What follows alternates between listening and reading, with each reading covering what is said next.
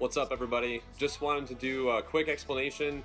I normally don't do any talking on these tutorials because I know you just want to get to the parts and see them played and not listen to me babble, but I just wanted to offer up a quick explanation. On this song, I do use a capo for like three quarters of the song. Um, we, or I do these tutorial videos in the keys that our church plays them in, which are generally a step or a step and a half lower than what they're recorded in. So um, on the original recording, it's in the key of B, and they do this cool open string thing in the verses. While dropping it to the key of A, we lose those open strings.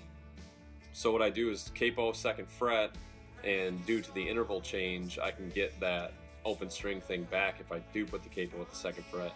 But what you'll notice is that about three quarters of the way through, um, right around the bridge, I take the capo off and get back to how I normally like to play because uh, as you might have heard on some of the other videos I've done for pedal reviews and uh, chord inversions and stuff like that, I don't like to use a capo. I'm just not comfortable with it. So if you're not a capo user and you see the capo at the beginning of this song, don't freak out.